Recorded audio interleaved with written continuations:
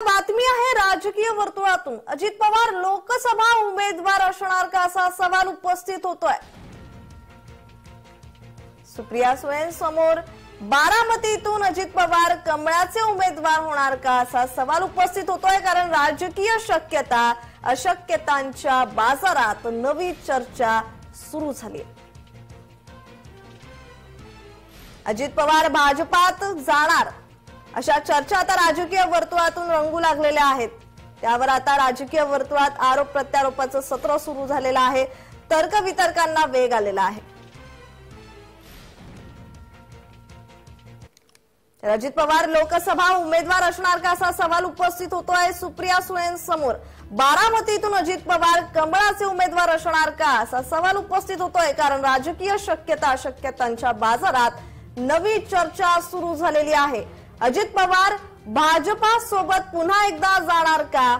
असा सवाल उपस्थित होतोय कारण अशा चर्चा आता राजकीय वर्तुळात रंगू लागलेल्या आहेत.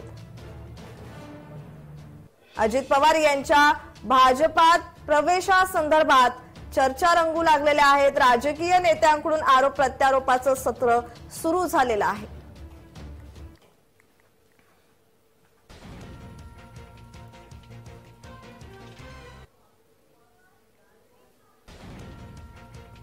अजित पवार लोकसभा उमेदवार. असणार का असा सवाल उपस्थित होतोय? कारण सुप्रिया समोर. बारामतीतून अजित पवार कमळाचे उमेदवार असणार का असा सवाल उपस्थित होतोय? कारण राजकीय शक्यता अशक्यतांच्या बाजारात नवी चर्चा सुरू झालेली आहे.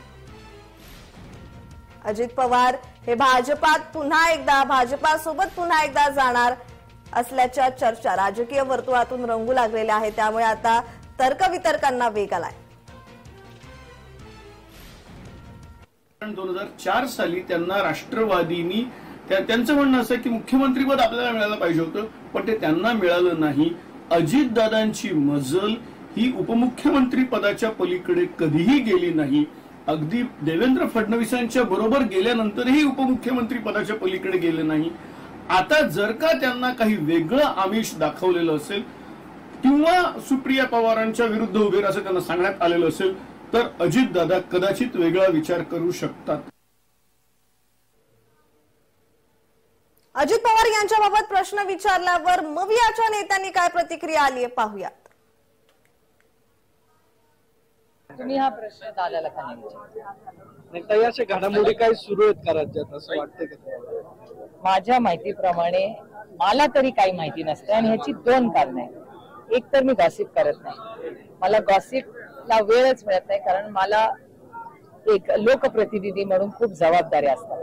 त्यामुळे मला गॉसिपसाठी एक तर वेळ मिळत नाही आणि मी वास्तवतेमध्ये जगते. I live the moment Sharad Pawar साहेबांचं असं म्हणणं आहे जे आमच्याशी बोलताना आम्हाला जाणवलं.